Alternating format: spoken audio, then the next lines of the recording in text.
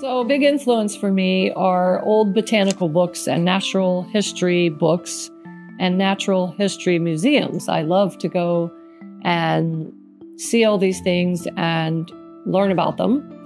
And the books are the way that I've learned, and the visual information that I get from them is very helpful. That's a big part of who I am. I have a large collection of books that are really important to me. I'm always been into nature and love being outdoors and looking closely at nature. And then the insects sort of came along and I started learning about bees and especially bees because their numbers are decreasing and I'm in awe of these creatures when I look at them and I want other people I want them to see that and because I believe that you protect what you care about.